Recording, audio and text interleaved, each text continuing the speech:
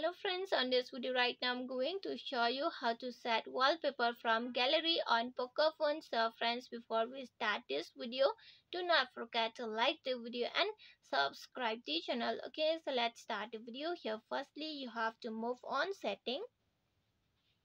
Then from here you have to scroll on down. Here you have to tap on the wallpaper then on the down you can see the profile option so tap on the profile. Here again you have to tap on the wallpaper option. Then if you want to set the wallpaper from gallery on the down you can see here is the plus icon option. Just tap on the plus icon option. And from here you can select from here okay? From the drive from the photos from the file from the file manager from the gallery. If you want to select photos you can select from here from your gallery also you can select.